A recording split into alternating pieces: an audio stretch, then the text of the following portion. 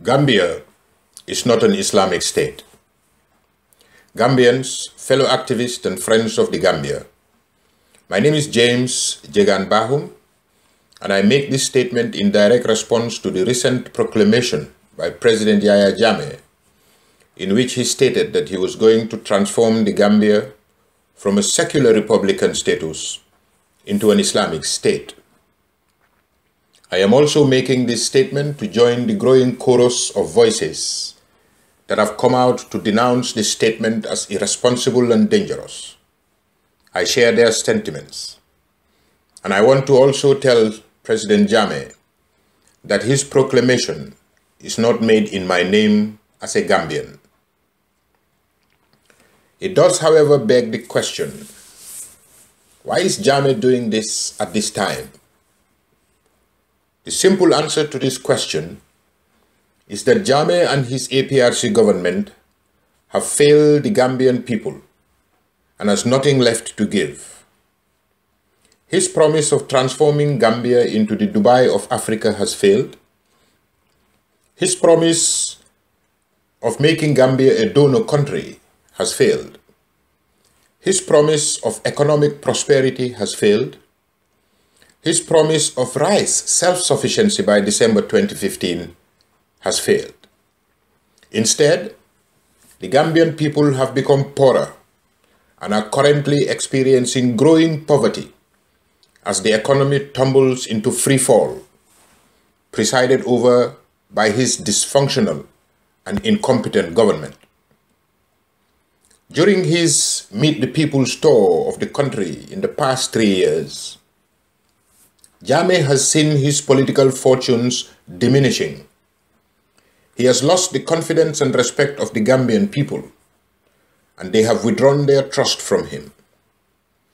Jammeh has come to the realization that Gambians have had enough of him and are most likely going to vote him out of office rather than into office in the next election. He is therefore seeking, merely seeking other ways to perpetuate himself in power by implementing this grand project to transform Gambia into an Islamic state in order merely to prolong his rule. Gambians and friends of the Gambia, let us be clear about this. Jammeh's recent proclamation has nothing to do with religion but everything to do with crude politics. Jammeh's sinister plans to subvert the country's secular republican tradition for his personal political survival was put into motion not on the 10th of December 2015 in Brufut. In fact, it has been on for the past few years. Among other changes to our traditional way of life, we recall the following seemingly innocent and piecemeal changes introduced in the country in the last few years. One, changing the working week, thereby making Friday a non-working day. The banning of gambling in the country, number two.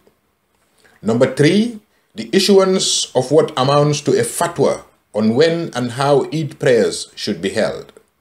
Four, the promise to change the official language to Arabic and five, the official sanctioning and active encouragement of fundamentalist religious scholars and Jammeh supporters who preach a foreign religious tradition that supports non-secularism and promotes religious extremism.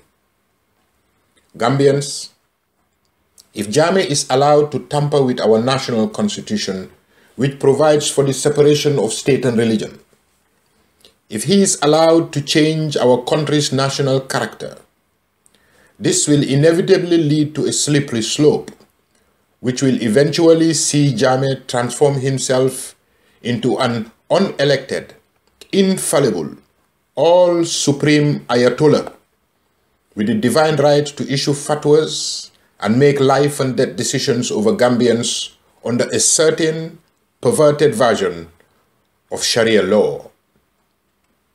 The question that quickly comes to mind is, why fix it if it's not broken? Gambia's secular republican constitutional model has served us well over many generations. It has nurtured our respect and tolerance for religious and tribal diversity, sustained our enviable national cohesion, and it has kept the nation in peace and harmony. Jammeh's diabolical plans to transform Gambia into an Islamic state presage religious conflict, regardless of his promises to the contrary. We should therefore not merely denounce his plans, we must resist it. We must resist this sinister ploy with every weapon in our arsenal.